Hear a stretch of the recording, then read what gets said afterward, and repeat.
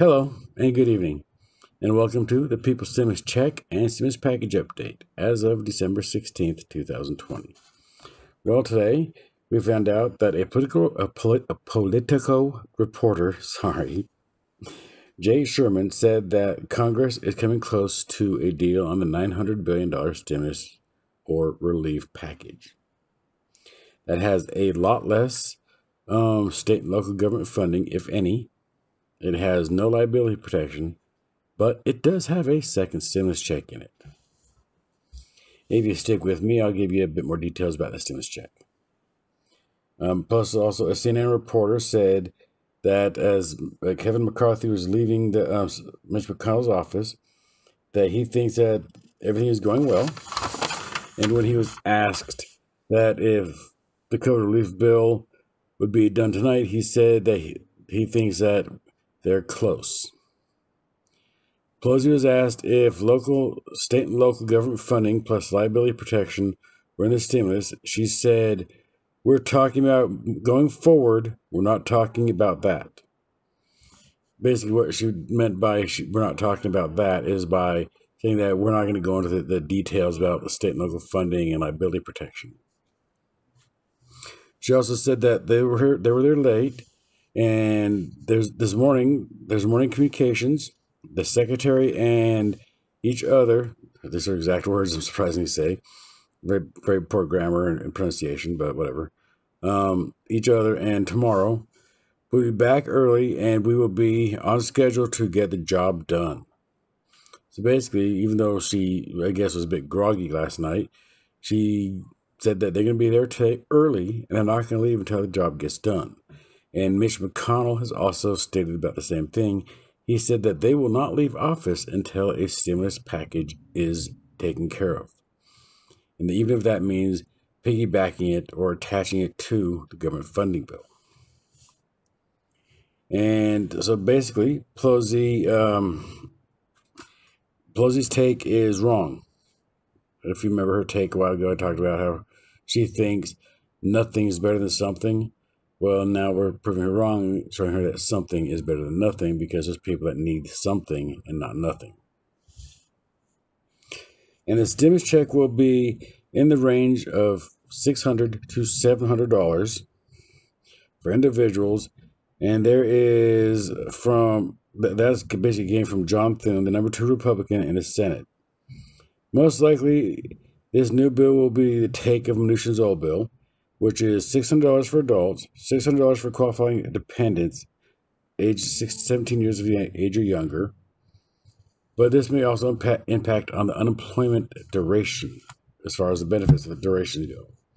Basically, meaning that since the unemployment thing won't start until January, they wanted to take it to go to uh, 16 weeks, which is four months. They're cutting it off a month.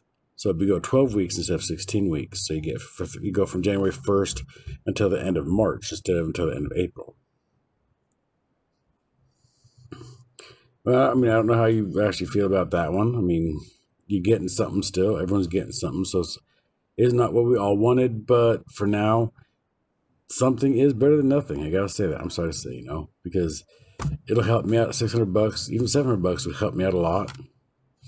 But we'll see what they come up with as the week progresses, and hopefully they'll have a bill written up and passed on Friday so they can get their skanky butts outside the Senate and go on their vacation like they want to. Hmm. And, and there will also, let's see here,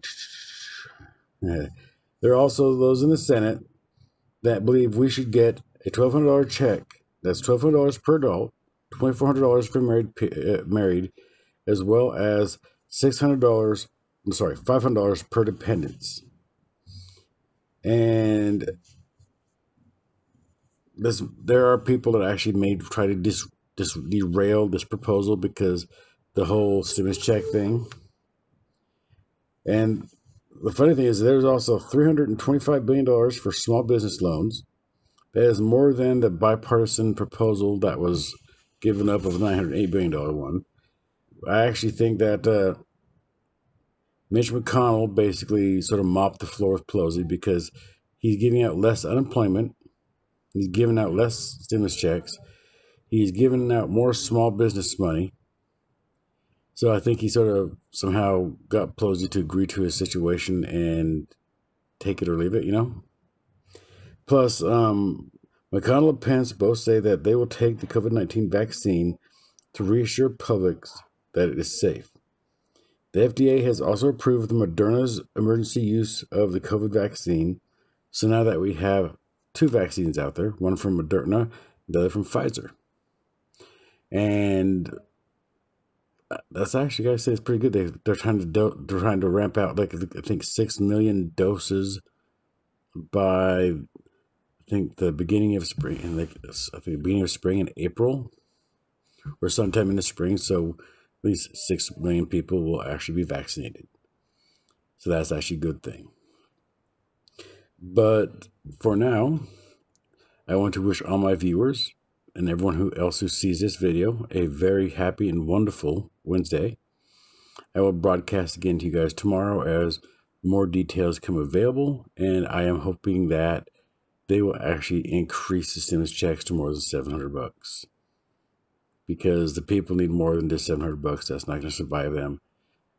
If that's the only form of income they have, that's not going to survive them for, for much at all. So until next time, you guys have an excellent night. I will speak to you tomorrow. You have a great night.